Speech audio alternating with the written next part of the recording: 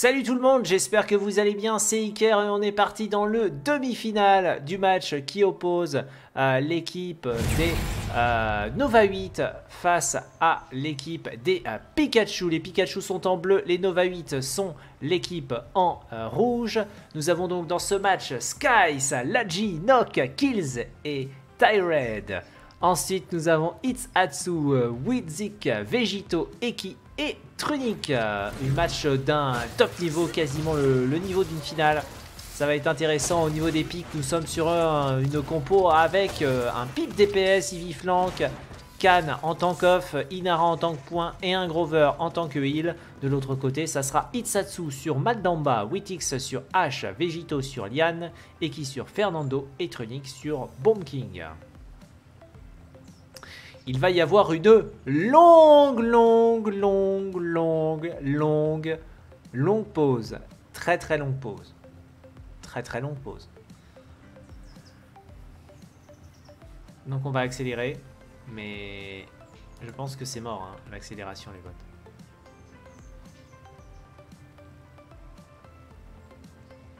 Là vous, là, là, vous croyez que vous alliez voir le match, mais s'ils m'ont attendu, bah vous allez l'attendre qu'ils aient relancé. Allez. Il faut, là, il faut être patient. Vous avez des blagues? Vous avez des blagues? Un petit peu d'humour, quelque chose? Oh, Je suis sûr il y a quelqu'un qui a une blague. Je suis sûr qu'il y a quelqu'un qui a une blague sur le chat. Euh, mignon. Fais confiance. Je suis sûr qu'il y a quelqu'un qui a une blague. J'aurais appuyé sur F11 pour remettre en mode euh, normal. Voilà. Oula, ça bug. Je vais faire planter le truc. C'est bon? Je vais faire planter le truc. Il faut que je remette euh, en mode euh, sans bas. Voilà, c'est mieux. C'est mieux pour moi. Ah bah là, on, se tape, on se 10 minutes de pause, les gars. J'espère que vous êtes chaud. Iker, t'es beau. Merci, Sterox78. Bon, je, vais, je vais demander à Brenel une blague sur le, Discord. Brenel il, il nous faut une blague. Ah Ah, une blague. Oula. Non, c'est bon, Brenel. C'est bon C'est bon. Parfait. à moins qu'ils remettent la pause. Attention, les potes Attention, on est parti. Au niveau des achats de légendaires, oh, Nock qui est parti sur un euh, can stun. Le can stun, j'en ai euh, parlé un petit peu dans, dans la tête d'impro, mais vite fait, avec donc euh, le, la, le stun. Et ensuite, on récupère la prise du commandant rapidement. Non, même pas, on récupère pas la prise du commandant vite. On va juste prendre la diminution, 40% de dégâts pendant 2 secondes. Ok, derrière, on va quand même chercher le cri. Et on va aller chercher le rempart. On prend pas de PV sur le can à part 150 PV. Ouais, c'est un peu une... on coupe la poire en deux au niveau du cri. Euh, intéressant, à voir ce que ça donne. Au niveau de la G, il est parti sur une petite EV. Au niveau des chouettes légendaires, voilà, rien de plus. C'est du euh, grand classique. Allez, let's go, c'est parti. And here we go. Allez, on va se mettre sur le euh, petit pipe. Pipe catalyste, bien sûr. Ah, on voit le petit tricks ici pour monter sur la hauteur. Et on met du POC sur le joueur de Bomb King.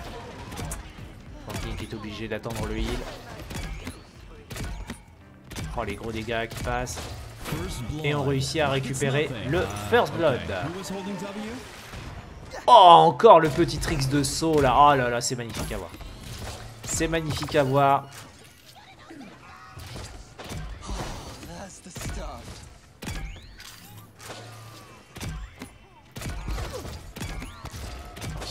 Sur le banquier. Et le point qui est cavé par l'équipe bleue. C'est passé comme papa dans maman. Et il va pouvoir sécuriser qui sur Trunix, c'est bien joué. Derrière le spam de Grover, on sécurise le kill. la game euh, qui est pour le moment euh, utilisée euh, et réussie à la perfection.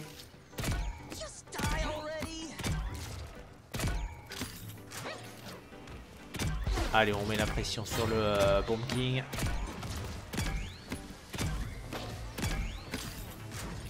Attention, Inara. de, bons dégâts mis sur le, le pipe, mais il est indépendant, il peut s'auto-heal. Ça a la grande force de pipe. On sécurise un kill. On met la pression. On avait peur que Fernando vienne mettre la pression, donc derrière d'utiliser sa légèreté. Derrière, on va sécuriser qui sur la liane. C'est une game euh, qui se euh, déroule pour le moment euh, sans incro. incroyable pour le moment cette pression mise par l'équipe bleue.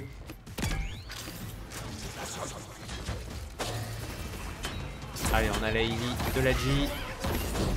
On a le contrôle mis par Nox, ça fait la différence. On sécurise le kill sur H.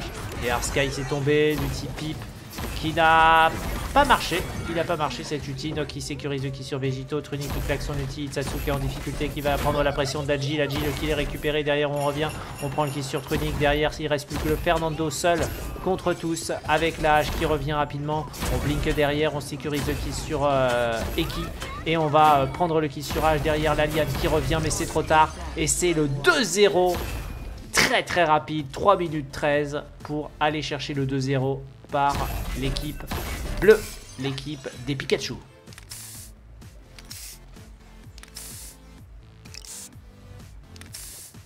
En tout cas pour le moment l'équipe Pikachu impeccable. Seulement euh, un mort, la mort d'Inara c'est tout à mentionner. 4-0-6 pour Pip, 4-0-6 pour la G. Le joueur de Grover 3-0-12. Enoch 2-0-3 avec euh, son can. 5, 4, 3, 2, 1.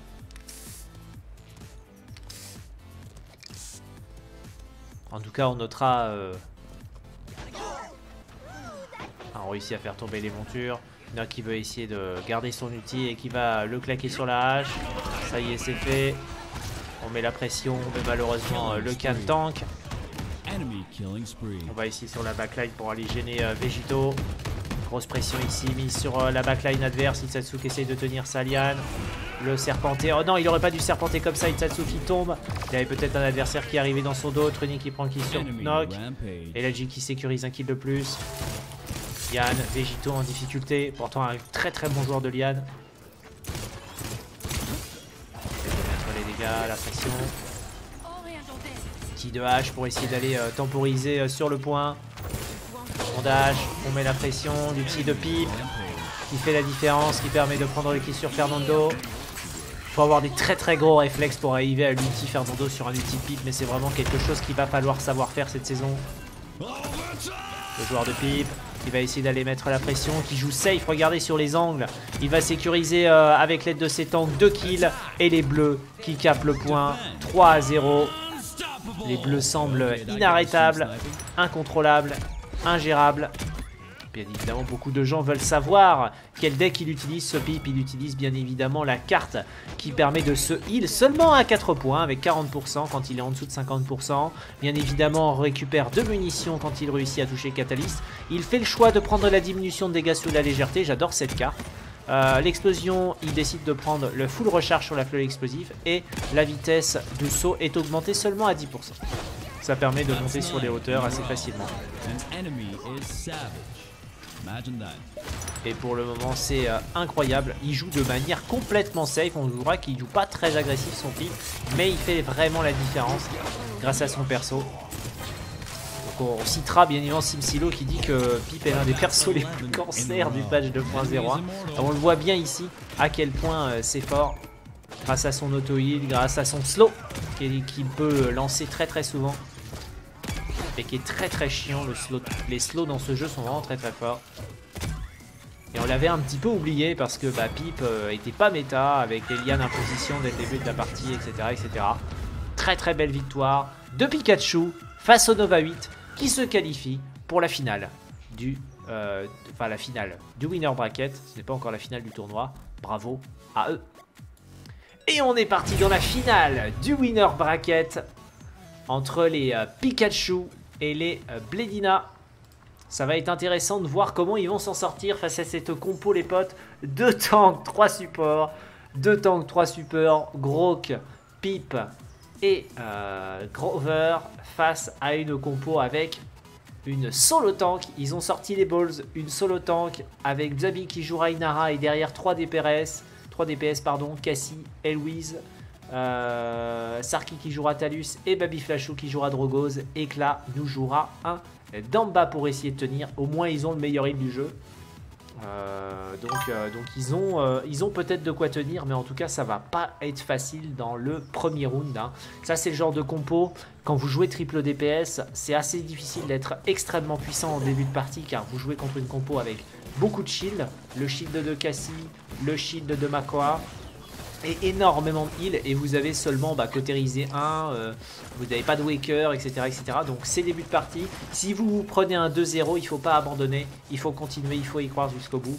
Parce que les compos triple DPS sont très très forts à partir de la début de la deuxième manche ou début de la troisième manche. Avant c'est vrai que c'est assez euh, difficile à digérer, surtout sur ce patch où on n'a plus bah, de cautériser 3 et d'anti-shield, etc. etc. Donc euh, ça va être intéressant de voir comment euh, les deux équipes vont tenir et, quelles vont être euh, les logiques de cette game. On est parti sur une euh, tir au pigeon du côté de, de Cassie, dégagé qui est un bon choix contre des compos très tanky. Allez, on, s'était mis sur Pip dans la game d'avant, là on va se mettre un petit peu sur Sarki qui joue Talus. Et beaucoup, 3 cautérisés pour le moment, pas de Waker. Donc le shield de H va vraiment être très très solide. On arrive dans le bac, on réussit à prendre le kill sur Flashou, le grab. On se repositionne. Un autre kill de la part de Tyre sur le joueur. Et Tyre qui récupère un double kill qui tombe. Derrière Sarki, n'a pas de rune, ça va être compliqué. Il a 15 HP, il a une seconde d'attente sa rune et la G qui sécurise le kill. C'est un teamfight euh, gagné, mais comme on pouvait euh, s'en douter par l'équipe euh, bleue. Allez, Baby Flashou. Qui met la pression, la salle.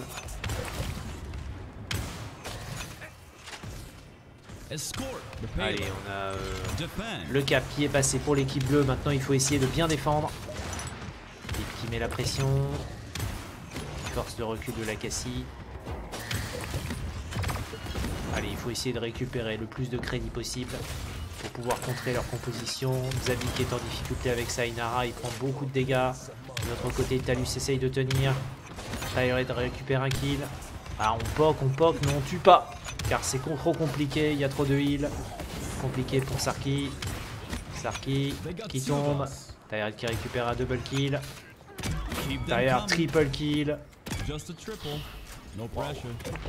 Tyred quadra kill. Ah ah. Putain de merde Oh là là là là là là, le pipe, euh, on le sent bien dans la grande finale qui sera peut-être ban. Parce que là, Tyred montre à quel point ce perso est fort. Patch 2.01. Le grab sur Baby Flashou. Derrière Zabi qui est en difficulté. La G. Ah, qui est tombé en surcharge. Pas bien. On sécurise le kill et c'est le 2-0.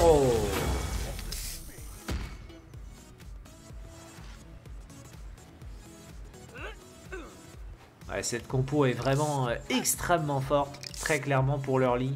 On l'a dit, hein, trop de heal, euh, trop de shield. Donc c'est très très difficile à gérer. Ils ont même pas eu besoin d'utiliser leurs ultis. C'est un euh, 5, c'est un 2-0. Aligné très très rapidement. Aucune mort pour leur équipe. Si, d'ailleurs, des morts une fois. Spawning in 15 seconds. Mais il est à 8-1-3. Et le problème, c'est que, voilà. Vous voyez, l'idée de Snowball là-dedans, c'est qu'ils n'ont pas cautérisé 2. C'est-à-dire qu'il n'y a rien qu'à changer. Tellement ils se sont pris un 2-0 sec, là, le jeu a un problème. C'est-à-dire qu'ils se prennent un 2-0 sec, et on va appuyer sur ils se prennent un 2-0 sec, mais en fait, il n'y a rien qu'à changer. C'est même pire qu'avant. Parce que, euh, bon là, tout le monde a les ultis, donc c'est on va dire qu'ils sont à égalité. Mais surtout, bah, les joueurs de l'équipe bleue mis 2-0. Donc ils ont beaucoup de gold. Donc eux, ils ont cautérisé 2, donc ils ont des items, etc. etc. Alors que eux, vu qu'ils se sont pris un 2-0 sec sans avoir pu faire quelque chose, bah ils ont rien acheté. Donc en fait, le problème est toujours là. Euh, parce qu'en fait, c'est euh, le snowball en fait. Il y a du snowball dans Paladin grâce au gold récolté, au fait de caper le point et au fait de caper le push. Et en fait, ça snowball. Et des compos comme ça, elles sont très difficiles à gérer patch 2.01, puisqu'il n'y a plus Liane, puisqu'il n'y a plus le Drogos qui anti à 75%, puisqu'il n'y a plus Talus qui anti à 75%. Ces compos-là sont devenues très puissantes. Euh, et, euh, et, euh, et- et on verra si euh, Aires fera quelque chose au patch 2.02 pour les nerfer parce que on va en voir, ça c'est certain. À partir d'un certain niveau, les gens vont comprendre que c'est très très fort et, et il est joué. Baby Flashou qui est en difficulté. Baby Flashou qui euh, meurt malheureusement. On claque l'ulti du côté de Tired. Tyred et on récupère un kill. Zarki qui essaye de s'éloigner. Éclat qui va se faire des liquides malheureusement. Il utilise son serpenté mais c'est finir par knock. Derrière Eloise qui est obligé d'attendre. Il essaye de survivre mais il tombe pire au pire moment. Alors que l'équipe bleue était déjà à 45%.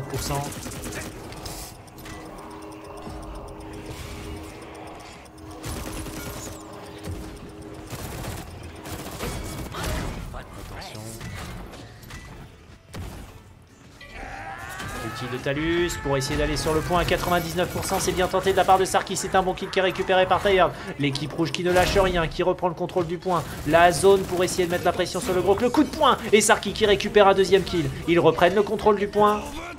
Ils créent un overtime. L'ulti qui est claqué pour mettre la pression. Le double contrôle extrême, extrêmement lent. Mais pendant un ulti Grover, résultat, ça n'a pas fait grand chose. Sarki qui est en difficulté. La pression sur Nock, ils veulent essayer d'aller chercher Éclat, ils réussissent à prendre le kill sur Éclat. Ah, c'était bien tenté euh, de la part euh, de euh, l'équipe rouge, mais c'est trop compliqué. Le joueur de Inara va tomber et on reprend le point une nouvelle fois du côté de l'équipe bleue et c'est 3 à 0 pour l'équipe bleue qui snowball et qui va aller mettre une grosse pression. Sarki qui se fait grave et qui tombe. Derrière Éclat en difficulté. Attention, Qui s'éloigne avec, le, euh, avec sa marche spectrale.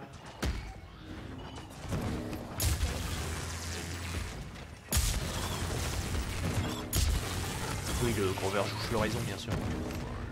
C'est le, c'est le seul heal, euh, c'est le, ah, c'est le seul heal. C'est le seul healer pur, euh, les autres, lui, les Maestrom et euh, le Pipe et Catalyst. Mais il quand même. Et on zone complètement l'adversaire dans leur spawn. Et le payload qui arrive. Et peut-être euh, qu'en moins de 6 minutes 30, ils auront aligné un 1-4-0. Incroyable. Cette finale de bracket. On claque l'outil du côté de sur Tired. Et euh, Xabi n'a pas d'anti-contrôle. Il n'arrive pas à bump. Il l'aurait bump autrefois, le pipe dans le vide là. Mais euh, maintenant, il y a moins de distance. On sécurise tous les kills et c'est fini. 4-0 pour Pikachu qui a sorti la compo. La compo, l'une des compos sur cette match, sur, cette map qui est sans doute l'une des plus fortes du patch 2.01. En plus, euh, très très bien utilisé très très bien joué. GG Wellplay à l'équipe bleue qui remporte donc cette finale du winner bracket. Il reste à savoir si euh, comment ça se passera dans la grande finale. Ils mènent donc 1-0 dans la grande finale puisqu'ils n'ont pas perdu de match au niveau du winner bracket. On se retrouvera tout à l'heure pour la suite de ce tournoi. Et salut tout le monde, j'espère que vous allez bien. On est parti dans le BO3 de la finale de la grande finale du tournoi. Pikachu mène 1 à 0 puisque bien évidemment ils étaient dans le winner bracket tout le long. Ils n'ont perdu aucune game alors que les Nova 8 ont dû remonter le loser bracket. Donc ça, on donne bien évidemment un point d'avance à l'équipe qui n'a jamais perdu.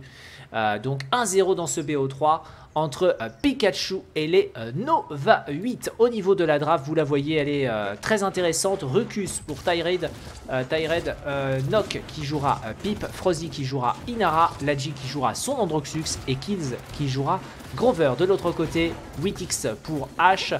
On aura Vegito qui est sur Cassie, Tir au pigeon, Itsatsu sur Élu des esprits, Eki sur Carbonisé et Trunic sur un sujet de la couronne.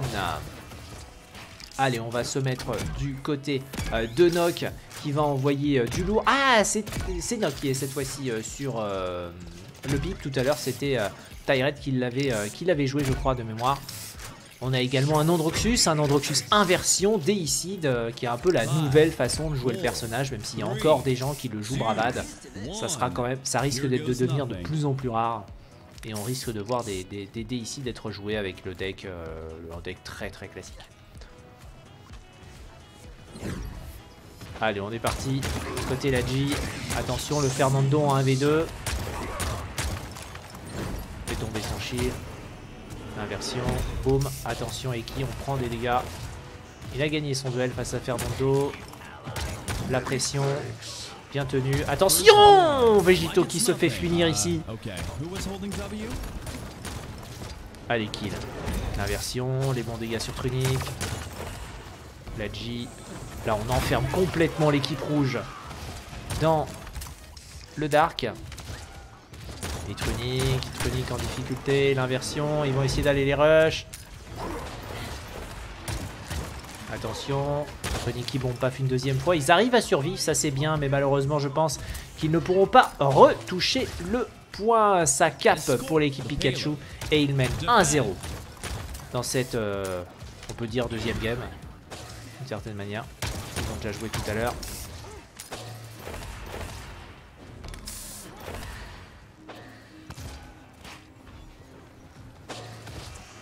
Allez, on a le pipe qui met la pression. Petit de Grover pour remonter Frozzy. Oh la pression. On réussit à prendre un kill sur Vegito et sur Tronic qui étaient à, à peu près sur les mêmes positions. Ils ont été punis. Très très bon heal de la part de Nock pour euh, tenir son euh, Nandroxus. Itsetsu qui prend le kill sur Tyred.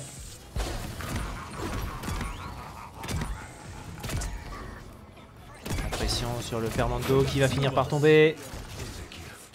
La G qui euh, va essayer d'aller chercher le kill sur Tronic. Vetronic le prend. Kills prend le kill sur Tronic. Ça avance. Attention, Vegito doit pas mourir. Il va se faire poursuivre. Tyred qui récupère un kill. Ah là là, ils sont difficiles à affronter, hein, les Pikachu. Et Frozzy qui fait la différence, qui prend le kill sur Itsatsu. Il n'y aura pas de heal. Il n'y aura pas de heal. Est-ce qu'on va décider de claquer les ultis alors qu'il reste 1 minute 21 à contester Trunic qui claque son ulti. L'ulti de Fernando en cumulé. L'ulti euh, de Rucus Kedinai. On décide de le cancel. L'ulti de Nock. On sécurise un kill. Deux kills. La force de l'ulti pipe. Ici, montrée. Et Itsatsu qui malheureusement euh, va tomber. Et c'est des Pikachu qui mènent 2 à 0. Vraiment inarrêtable.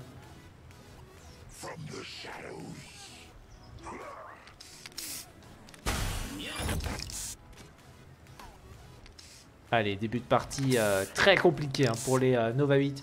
Ils ont, décidé, ils ont, décidé, de claquer deux ultis, mais ils ont contré avec l'ulti Pip qui a fait la différence. Grover qui a eu le temps de monter euh, deux ultis sur cette manche.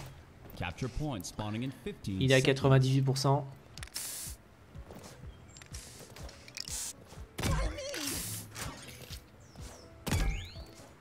Five, four, three, two, one.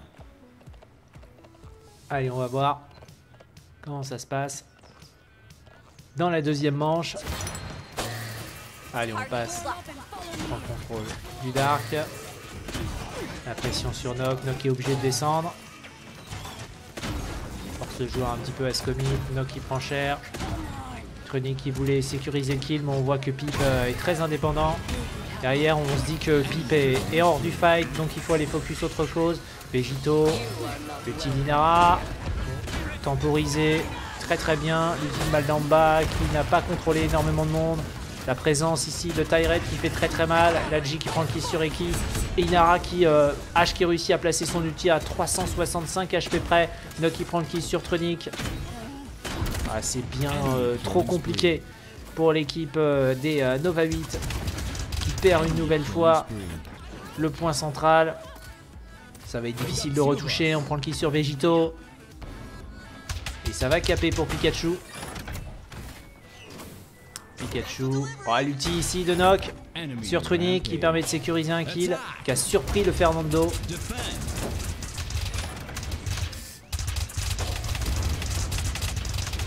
Allez, la pression sur Frozzy. Frozzy qui réussit à survivre avec son Minara. Qui s'éloigne. Allez, LG, l'ulti. Oh, l'ulti ici qui est, très éloigné, mais euh, il avait euh, envie de claquer, pourquoi pas.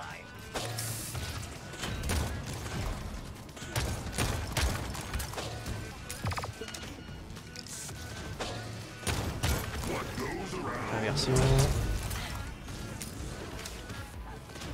Ah, on va se mettre un petit peu sur Rucus. Rucus qui est en bonne position pour mettre la pression. Malheureusement, il rate un petit peu ses missiles. Il essaye d'aller chercher Vegito. Attention, Vegito. Oh il n'avait pas eu l'info que le Rucus était là. Dommage, ils auraient pu le savoir.